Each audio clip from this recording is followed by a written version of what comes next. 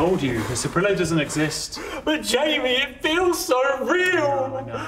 Jamie, Yeah. what's that?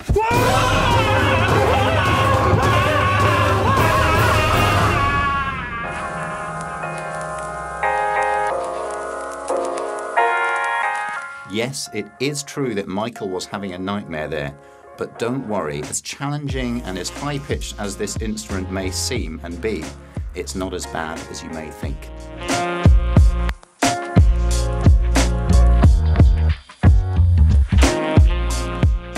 So what is a soprillo? Well, it is an instrument that is precisely one octave above the B-flat soprano sax or half an octave above the E-flat sopranino sax, and it is fingered from a bottom B-flat to a top E-flat. Now, this instrument has been designed by the specialist maker based in Munich in Germany, Benedikt Eppelsheim, and he specializes in making really tiny, tiny instruments like this one here and the huge instruments that we've featured in our store, the basses and contrabasses. And Benedict is just, he's an incredible guy, a proper engineer, really knows what he's doing. All of the things that he designs, all the instruments that he makes are absolute feats of engineering. And it's not just saxophones, he makes some other weird and wonderful instruments as well. But we absolutely love his work here at sax.co.uk.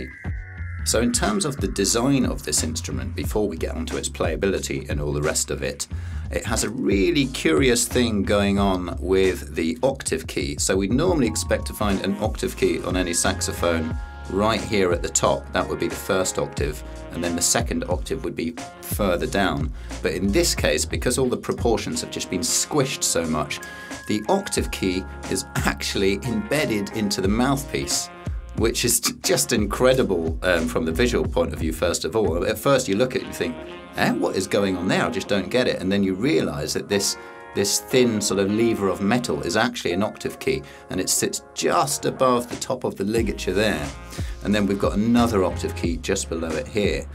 But otherwise, in terms of the design, it's got the basic saxophone mechanism that you'd expect to find with any saxophone here. You can see, you know, your right hand E flat C here. You can see the usual arrangement of table keys here. Um, but as I mentioned in the outset, in terms of its upper range, we're only going to fingered E flat, so he doesn't go up to the E and then the F and the F sharp beyond that because it's just so hard to achieve these notes. And do you necessarily need to go that high anyway? His top E flat is high enough, but more about that later. So that's the fingered range of it, that's the basic mechanics of it.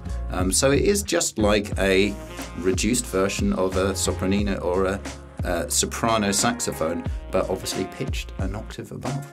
So, in terms of the playability of the Soprillo, I can't lie to you, this is a really challenging instrument to play. I think even on Benedikt's website, he actually mentions that this is not for amateur players and it should be considered a professional instrument. And even if you're a professional player and you pick it up at first, you might be baffled by how hard it is to get all of the notes because it requires such specialist technique and perseverance, really. Um, there's a guy that we once connected with here at Sax.co called Nigel Wood, who's possibly the most famous Soprillo player in the world. And we did a little collab video with him, actually. It was great. I was playing one of the bass instruments, he was playing this. And I seem to remember the story goes that he almost locked himself in a cupboard probably wasn't a cupboard, it was probably a music studio for two years to, to become adept at playing this so he can play it out and about. And he is an absolutely fantastic player and does really well on the Soprillo, so much better than I'm about to sound in a minute, but I will give it a go. So it's that kind of dedication that you really need in order to to really sort of eke out the the juice in this instrument because it's all there. The engineering is perfect, but it does take some persistence and perseverance and all the rest of it. So that is your sort of health warning that comes with this instrument. In terms of its practical use, I mean, it's going to be limited, let's face it.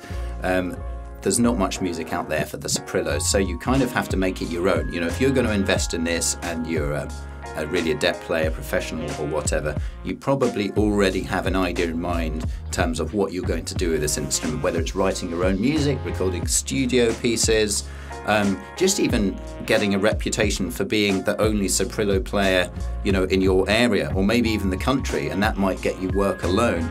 You know, it's that kind of niche specialist instrument. You're not going to buy one of these and then think, oh, they didn't let me into the band. Why not? Well, I mean, look at it, and you will hear it now. So I'm going to. Uh, um, embarrass myself, as I've said. I'm going to play a few bits and pieces, try and demonstrate the range.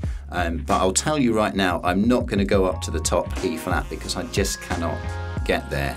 I think I can hit an A if I'm really lucky, and then beyond that, um, yeah, the notes just fail. They are there to be got, but I just can't do it at this stage. I'm going to be honest with you. So let's see how it sounds.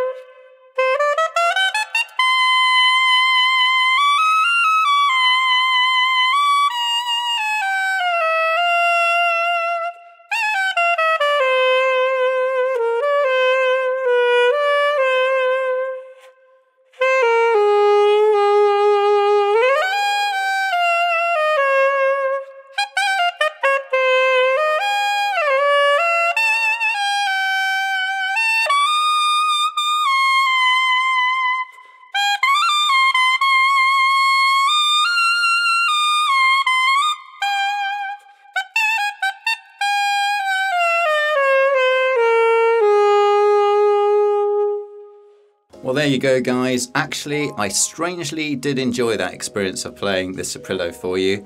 Um, I would say my experience of playing it has been maybe five minutes a day for um, three or four days or so, so maybe 20 minutes accumulated uh, minutes.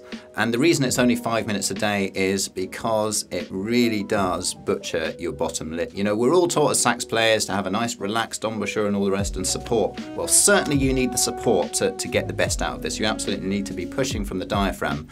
Um, but you cannot slacken off here. You do need a certain amount of, of firmness and this is the, the bit that you would develop if you played it for you know weeks and months at a time to try and get anywhere near as good as Nigel Wood is. Um, but I have actually progressed in the, in the last few days, so I can give you guys hope out there that if you buy one of these things, after a few days you will be better at it if you persevere again. Um, so I've really enjoyed it. I mean, I have to admit, I in terms of what I did for you there, I kept it nice and simple. I didn't go above G. I kind of chickened out. I can play the A, but I didn't want to risk it here. Um, and we've got another what A, B flat, B, C, C sharp, D, E flat to go in the range. So there's a fair bit more to explore there, and it's obviously all attainable. I've heard Nigel do it. Um, at, so it does have a lot of scope, a lot of potential, and it's just a really interesting bit of kit. Um, you know, if you're the kind of player, I, I, mentioned before the kind of musician who might like to buy this instrument, but I know there's a lot of oddballs out there, and you just like to collect weird and in interesting instruments, and this is certainly one of those. So you now know it. We have these at sax.co.uk. We have this in stock, so come and try it out in the London store. It is here for you to try out. Um, so there you go, that's, that's what I've got to say on the Soprillo. If you like this video, please do remember to put a like on the video and subscribe to the channel if you haven't done so already. And thanks for watching. I will see you again on the next one.